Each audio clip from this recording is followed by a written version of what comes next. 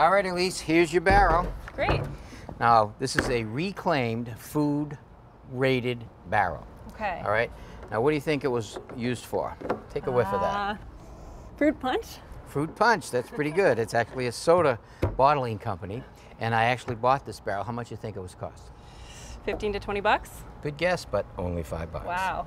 All right, so now we have to think about getting water in and getting water out.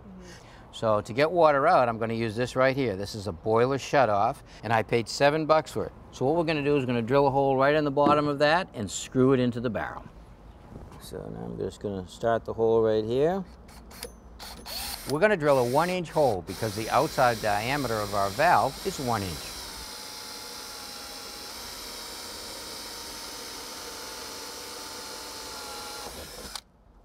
Okay. To make a watertight seal, we're using thread sealing tape. Now I can just screw the valve into the barrel.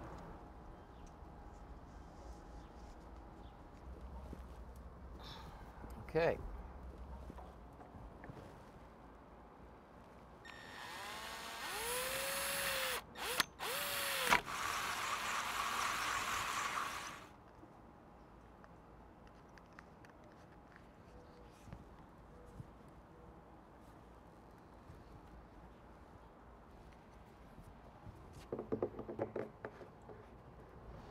All right, we've put a tap in the top of the barrel, and that's going to be our inlet for the water to get into it. But now we have to figure out how we can get water off the roof into the barrel. So what I did is I went online and I bought this diverter right here for 25 bucks. There's actually a filter in here so that if there's any debris that comes down the downspout, hits the filter, bypasses it, and goes down the downspout down below, and doesn't go into your barrel. All right, so what we're gonna do is we actually have to cut a section of the downspout out. We'll insert the diverter, connect the tube to the diverter, and then the water will go into the barrel. All right, so now I gotta cut a piece of the downspout out. You wanna hold my belt? Sure. Just kidding.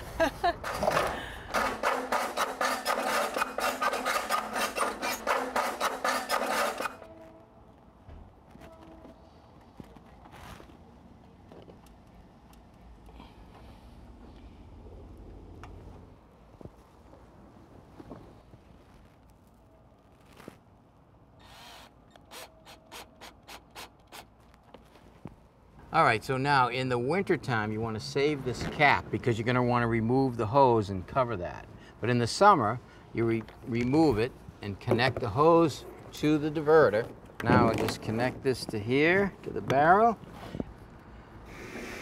All right, Elise, I put a little bit of water in it so we can charge the barrel up a little bit because it looks like we're going to get some rain. Okay. You want to try putting a water can under it? Yeah, let's get some water out.